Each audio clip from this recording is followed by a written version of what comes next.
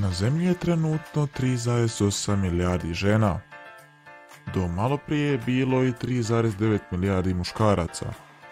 Ali sada si ostao samo ti. I tvoj telefon ne prestaje zvoniti.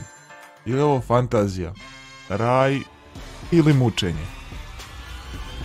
Evo što bi se dogodilo da si ostao jedini muškarac na svijetu. Probudite se jedno jutro, a pola svjetske populacije je nestalo. Ali nije nestalo ravnomjerno. Nestali su samo muškarci.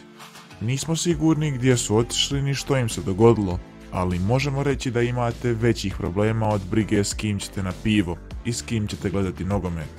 Prvo će naslijediti tuga, zatim djevojke, a onda dolazi veliko pitanje, repopulacija zemlje. Jeste li spremni na to? Biti odgovoran za ponovno naseljavanje planete i jedna po jedna žena moglo bi zvučati zabavno, ali u stvarnosti tu je puno napornog rada. Od 1973. broj muških spermija diljem Europe i Amerike opada. Nitko zapravo ne zna zašto, ali mnogi znanstvenici vjeruju da su uzroci zagađenje, stres, pušenje i alkohol. Da biste obnovili ljudsku populaciju, vi kao posljednji muškarac na zemlji morate učiniti sve što je potrebno da povećate svoju plodnost i podignete razinu testosterona.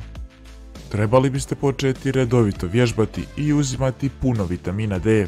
Također biste morali povećati unos vitamina C i cinka budući da su oba ključni antioksidansi koji su vam potrebni za zdraviju spermu. Što se tiče alkohola, iako bi mogao biti izvrstan društveni lubrikant za upoznavanje tolikog broja žena, ipak neće pomoći da dođe do trudnoće zbog negativnih učinaka koje ima na plodnost.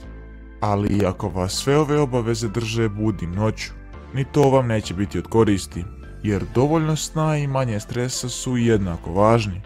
Pogledajte u videu iznad što bi se dogodilo ako pokušate ne spavati 30 dana. Velika je stvar tražiti da se ne brinemo kada je pola svijeta odjednom nestalo, a na vama je da ponovno napučite zemlju. S obzirom na ozbiljnost situacije, vjerovatno ne biste baš uživali u vremenu sa 3,8 milijardi mogućih ljubavnica. Realnije je da biste vjerovatno zbog učinkovitosti bili smješteni u neku vrstu klinike plodnosti da vas se zaštiti.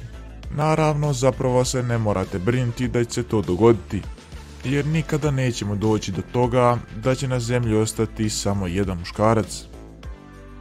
A ako vas zanima što bi se dogodilo sa našom populacijom kada bi abortus bio zabranjen u cijelom svijetu, pogledajte u ovom videu, te naravno ostavite like i subscribe.